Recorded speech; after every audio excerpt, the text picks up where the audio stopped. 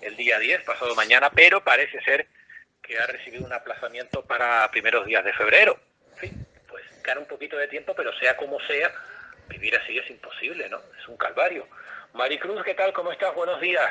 Hola, buenos días. Pues mira, ahí vamos con muchos nervios. Muchos nervios, claro, porque es que vivir así, esto es un sin vivir, es imposible.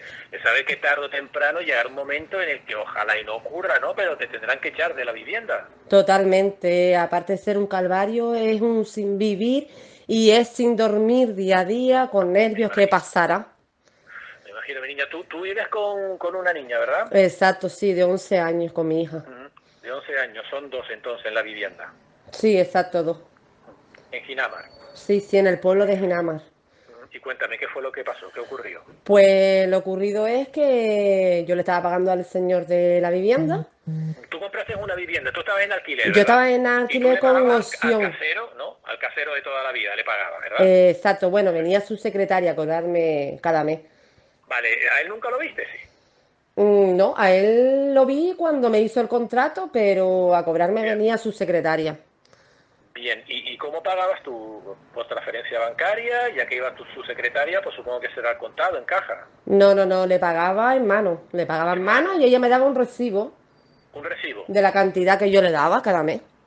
¿El recibo tenía membrete también de, no sé, de la, empresa que regentaba a esta persona? O, ¿O era un recibo tal cual que uno puede sacar de cualquier, no sé, librería? Sí, sí, un recibo que tú mismo puedes comprar en librería o o ferretería, tú mismo lo rellenas, lo firmas y la otra persona recibe el recibo y tú le das el dinero.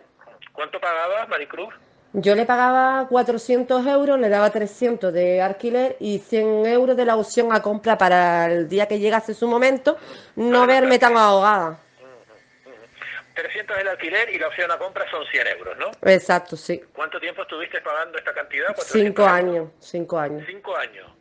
¿Y cuándo comenzaron los problemas, Maricruz? Los problemas comenzaron hace como tres años aproximadamente, en el 2016.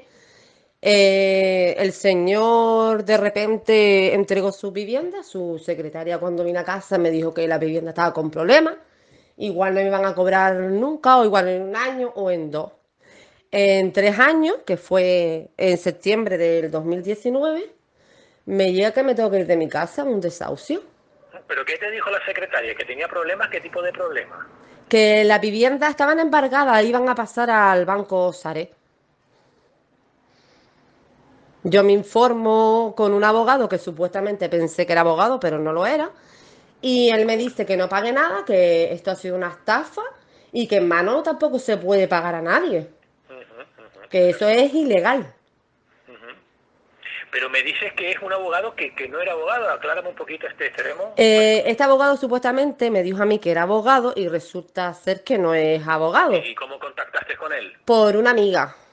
Mm. Mm. Una amiga que te entiendo que también le llevaba sus temas jurídicos, ¿no? Exacto, y después cuando pasó todo lo que pasó, que me vino el desahucio, eh, una vecina mía, un mes antes, le había llegado a ella, ella cogió a este señor le pago un dinero, pues yo desesperada, cuando me llega a mí, le digo a ella, por favor, que me contacte con él, que quiero que me lleve el caso, que se lo pago como pueda, pero que no me quería ver la calle con mi hija, estaba asustada. De hecho, le pago un dinero, denunciamos las dos porque nos enteramos que el juicio nuestro no se celebró por culpa de él, porque lo teníamos en julio y ella en junio, y él dijo que se había aplazado para septiembre y era mentira, no había hecho nada. Denunciamos y de hecho hasta se archiva el caso. Claro, tú estabas en rebeldía porque no fuiste. Exacto, me quedé como rebeldía y como que yo entrego mi casa y que estoy de acuerdo con una deuda que me quieren poner y que estoy de acuerdo como que me voy a la calle. ¿En algún momento la secretaria te dijo algo de, fin, de su, de, su jefe? No, ella, por lo que tengo entendido, yo sé que se marchó hasta incluso de, de la empresa Coidiu por lo que tengo entendido. Yo de ella no sé más nada. Ese fue el último día que, que supe de ella. ¿No te alertó sobre los posibles inconvenientes que pueda tener la, vivienda mucho antes de cuando te lo, te lo dijo? ella me alertó eh, la última vez que vino a cobrarme. Me dijo, mira, esto y esto está pasando. La vivienda esta tiene problemas. Se la van a embargar al dueño. Y tendrá que esperar que se ponga el banco en contacto contigo, con Lazare. Fue cuando de hecho me puse en contacto con un abogado para informarle de lo que estaba pasando, que me dijo que no pagara más, hasta que el banco no se pusiera en contacto conmigo y llegara a un acuerdo. Te declaran en rebeldía y a partir de ahí, ¿qué ocurre, Maricruz? Me declaran en rebeldía, una amiga me dice que me ponga en contacto con Ruimán, del sindicato.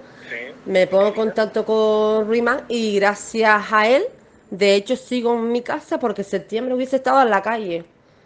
Y él me ha dicho, muévete aquí, vete a vivienda, vamos al ayuntamiento, a las trabajadoras sociales, a todo. Y gracias a Ruimán, de hecho, sigo en mi casa. Pero claro, está parado hasta el 14 de febrero.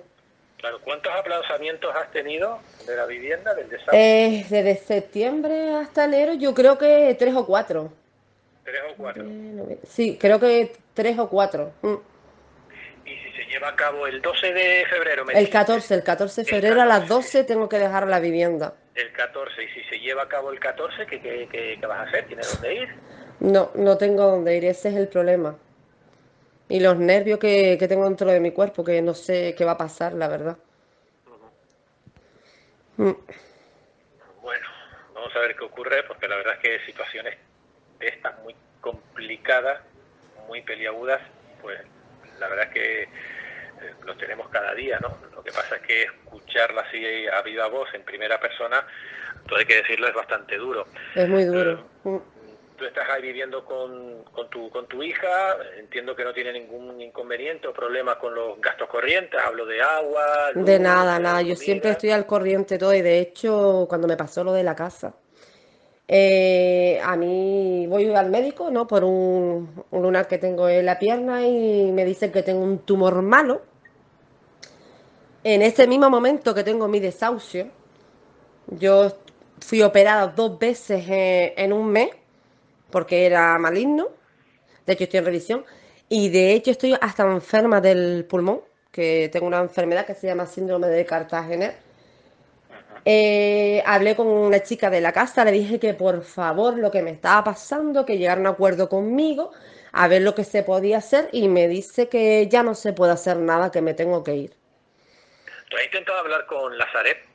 Eh, he intentado hablar con Lazaré y no me han pasado. Eh, Ruimán sí habló con Lazaré y le han dicho que en breve pasarán a sus manos, pero cuándo no sabemos, la verdad.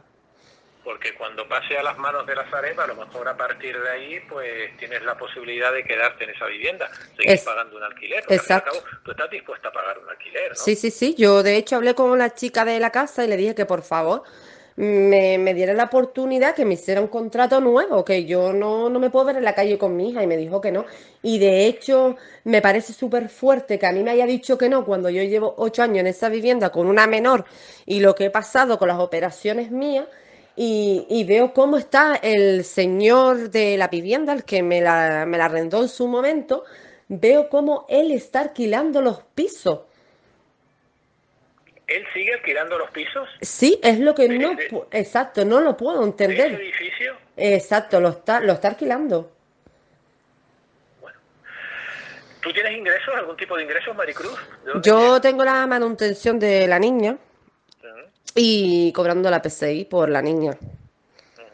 Bueno, pues vamos a ver qué es lo que ocurre. Seguiremos de cerca este caso, Maricruz, y muchísimas gracias por contarlo aquí en la cadena COPE. Gracias a ustedes.